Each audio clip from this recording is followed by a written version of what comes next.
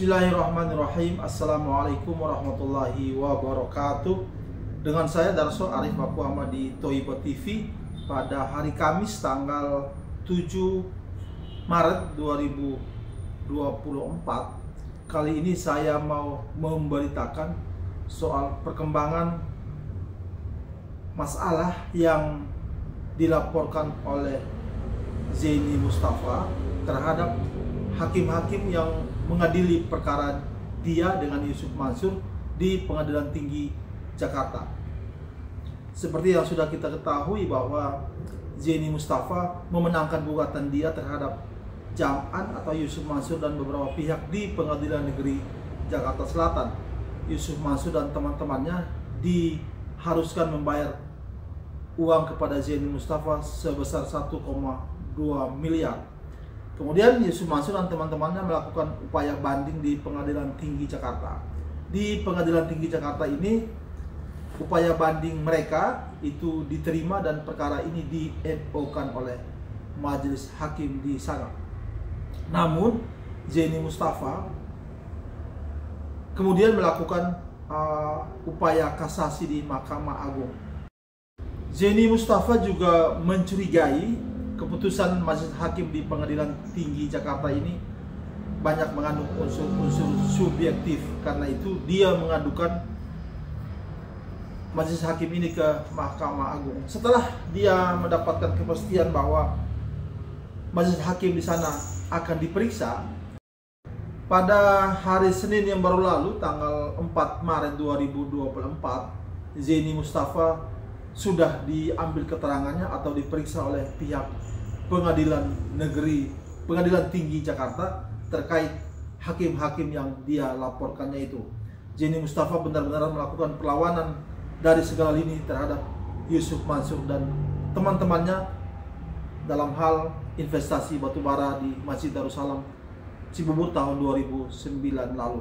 Berikut ini perbincangan saya dengan Jenny Mustafa soal masalah ini.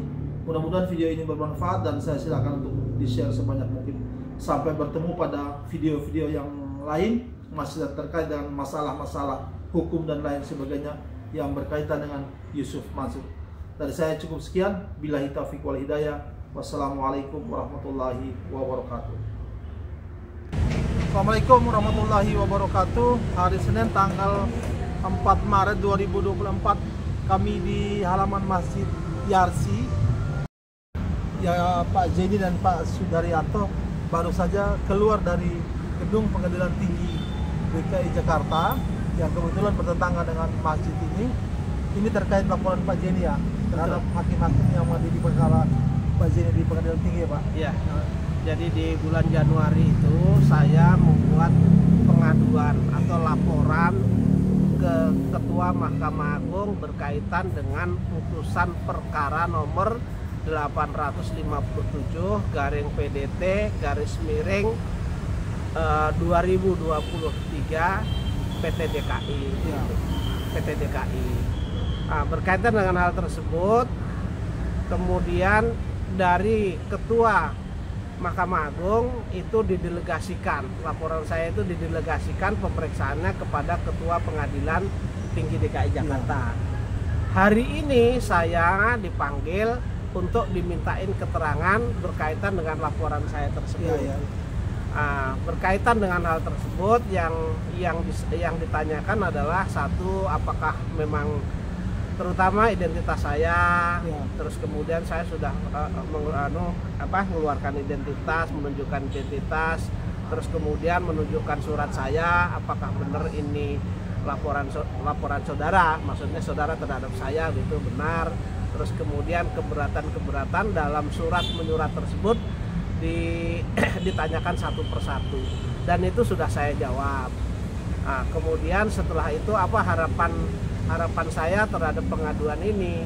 Tentu saya karena ini penegakan hukum yang menurut hemat saya bahwa majelis hakim yang menangani perkara saya 857 tersebut adalah telah menerapkan atau mempergunakan alat bukti yang salah yaitu suatu perjanjian yang mana di dalam suatu perjanjian tersebut saya tidak uh, bukan sebagai pihak atau bukan pembuatnya. Ya. Sehingga menurut hemat saya itu salah karena jelas diatur dalam pasal 1340 KUH Perdata itu jelas eh, perjanjian itu hanya berlaku bagi para pihak yang membuatnya.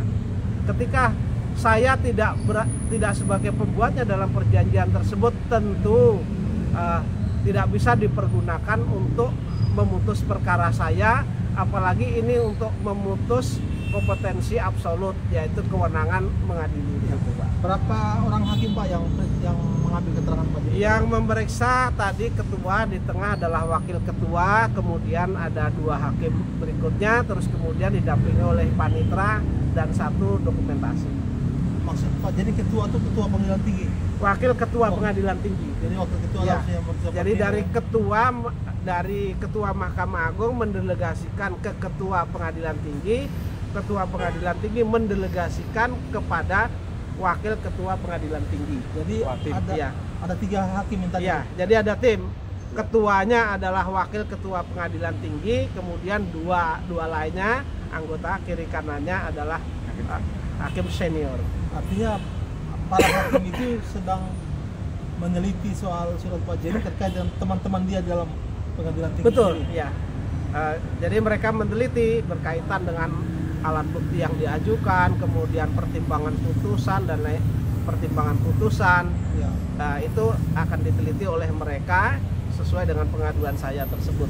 Nanti baru diambil suatu kesimpulan apakah eh, ada penerapan penerapan eh, alat bukti yang salah, kemudian penerapan hukum yang salah. Ya. Gitu. Pak bet- uh, menyampaikan kepada tim hakim ini soal kecurigaan kecurigaan Pak Jeni nggak terkait dengan keputusan itu. Saya sampaikan. Ya. Jadi sebenarnya tidak termasuk pokok, tetapi ini perlu saya sampaikan bahwa Ya. eh, putusan itu dibuat dalam waktu yang terlalu cepat. Ya. ya kan saya itu memasuk saya memasukkan kontra memori karena mereka yang banding saya memasukkan kontra memori kemudian tidak lama setelah itu kurang lebih satu bulan atau kurang lebih ya artinya Iya. bisa lebih bisa kurang itu sudah timbul putusan tersebut kemudian setelah saya analisa ternyata pertimbangan hukumnya eh, seperti fotokopi seperti paste eh, Copy paste. copy paste ya Iya. copy paste terhadap per- eh, terhadap memori kasasi memori, Memori memori kasasi memori banding yang diajukan oleh eh, si pembanding Oh gitu. Iya. Terga- terkait kecurigaan yang lain yang, yang seperti Pak Jeni pernah bilang ada udang di balik batu itu disampaikan juga Pak. Eh, ini karena ini yang memeriksa ketua, jadi saya hanya menyampaikan kejanggalan-kejanggalan eh, alat bukti dan ketentuan Oh. hukum saja. Di luar Iya. itu Di luar itu nggak saya sampaikan. Ya. Pak agendanya hari ini pemeriksaan. Eh, Terus agenda berikutnya apa lagi Pak terkait dengan masalah? Agenda berikutnya karena ini tadi berita acaranya belum saya tanda tangani, Oh. nanti Jumat depan saya eh, dokumen-dokumen sebenarnya dokumen-dokumen yang diminta itu sudah pernah saya lampirkan, tapi mereka butuh lagi maka akan saya fotokopi nanti saya serahkan di hari Jumat itu dan saya menandatangani berita acara Oh, setelah Iya. itu baru hakim-hakim yang Pak Jeni laporkan itu mengambil keputusan. mereka diperiksa juga kan? Mbak diperiksa, diperiksa. Jadi sama, saya juga sebagai pelapor diperiksa, kemudian saya sebagai pengadu juga diperiksa, kemudian hakim-hakim Teradu. teradu juga diperiksa. Ya. Gitu. Nanti keputusan itu di Pak Jeni dipanggil atau di Keputusan itu nanti diserahkan kepada Ketua Mahkamah Agung. Oh. Ya. Nah, Gitu. ke Pak Jeni sendiri nggak dikasih keputusannya nanti Pak? Biasanya ada tembusan. Ada tembusan. Iya. Tapi, ya tergantung dari tergantung dari Ketua Mahkamah Agung nanti. termasuk sanksi apa yang diberlakukan kepada hakim-hakim itu juga akan dikasih tahu ya Pak. Biasanya secara terbuka akan diberitahu. Ya. Tapi Pak, apa pun keputusannya tidak berpengaruh dengan hasil di pengadilan tinggi itu Oh ya? ti- tidak, tidak berpengaruh. di penga- apa pun keputusan di sini Ya. uh, putusan pengadilan tinggi sudah tidak berpengaruh. Cuman nanti di Mahkamah Agung nah kita nggak tahu nih, Iya. sedang proses kan on proses sekarang. Tapi bisa nggak di ah, keputusan ini disampaikan ke Mahkamah Agung? Ya memang perkara ini ya memang harus disampaikan, Harus disampaikan. harus disampaikan. ikut berpengaruh dalam keputusan Mahkamah Agung nanti Pak? Tidak, tidak. Oh, tidak. Ya, hakim itu bebas memutus, Ya, ya. bebas memutus sesuai dengan pendapatnya, sesuai dengan ketentuan hukum, aturan mainnya begini. Pak Jeni ya review sedikit perkara Pak Jeni dengan Yusuf Mansur. Gimana Pak biar di pemirsa kita bisa Iya, jadi begini, dalam perkara saya ini yang yang menjadi laporan yang yang menjadi laporan atau pengaduan saya ke Ketua Mahkamah Agung ini adalah berawal dari perkara saya nomor 2 nomor 28 perkara perdata ya nomor 28 garis miring PDT titik G garis miring 2022 garis miring PN titik JKT titik sel ya. Nah, di dalam perkara tersebut di tingkat pengadilan negeri itu eh, tergugatnya satu, eh, tergugatnya adalah PT Adi Partner Perkasa. Iya. Terus kemudian tergugat duanya Adiansah, Iya. tergugat tiganya Yusuf Mansur, tergugat empatnya adalah BMT Darussalam, kemudian tergugat turut tergugatnya adalah Pondok Pesantren Darul Quran yang diasuh oleh Yusuf Mansur. Iya, iya. Di dalam putusan Pengadilan Negeri Jakarta Selatan itu, gugatan saya dikabulkan sebagian, kemudian menghukum Yusuf Mansur dan kawan-kawan itu untuk eh, mengembalikan uang investasi saya sebesar 80 juta, kemudian ditambah dengan ke, potensi keuntungan selama 11 tahun. Artinya Pak Jenny menang lah di Akhirnya saya menang. Nah, kemudian kalau dikumulatifkan atau ditambahkan itu sekitar hampir 1,1 miliar 250 juta lah. gitu. Iya. Nah, kemudian Yusuf Mansur banding, kemudian BMT banding di tingkat pengadilan tinggi inilah yang per, di NO katanya pengadilan negeri tidak berwenang mengadili perkara tersebut yang Iya. berwenang mengadili pengadilan agama Iya. sehingga putusan tersebut dibatalkan gitu Pak. Tapi Tetapi setelah saya teliti, saya periksa ternyata ada penerapan alat bukti yang keliru nah, yang seharusnya tidak diterapkan buat saya tetapi diterapkan buat saya. Inilah bertentangan dengan ketentuan pasal 1340 tersebut. katanya hakim-hakim yang Makanya hakim-hakim yang mengadili ini karena ini hakim senior tidak mungkin mereka tidak sengaja. Makanya saya anggap mereka bersengaja, makanya saya laporkan. Oke, akhirnya sampai Akhirnya sampai hari ini saya diperiksa oleh wakil ketua Pengadilan Tinggi DKI dan anggota. Oke. Gitu.